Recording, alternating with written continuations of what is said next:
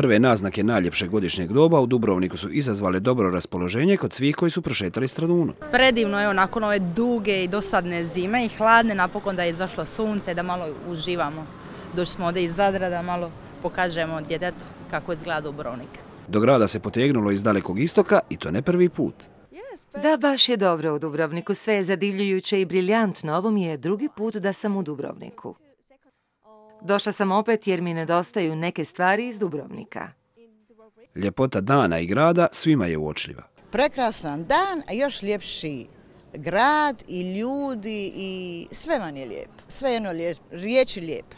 Kako bi bilo najbolje iskoristiti ovakav dan? Oh, najprvo šetnja, pa spiza, pa kafica i imat zdravlja i malo dublji džep. Onda vam je dan fantastičan. Evo nas, progurali smo zimu, čekamo ono što nas sve zanima je proljeće, ljeto, skidanje jaketa, ujutro dobra spenzica, na placu poć, obavi što treba, poć doma skuha objed i izvali se neđe na sunce, boca vina, lijepoga, ali ne, ne jako, po polako je na malvazica ili ovako nešto ono, čisto da je lagano malo sira, pršuta i raj na zemlji.